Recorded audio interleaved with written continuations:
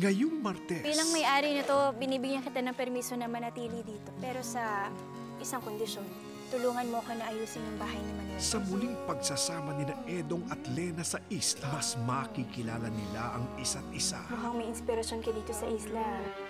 Maiipit si Henry sa kanyang kasalanan. Doc Henry! Sinabi ko na sa'yo, tigilan mo na ako, hindi ba? It's not over until I say it's over. Dapat gumawa ka ng paraan para muli mong mabawi ang tiwala ni Lena. All Vamos doble, cara.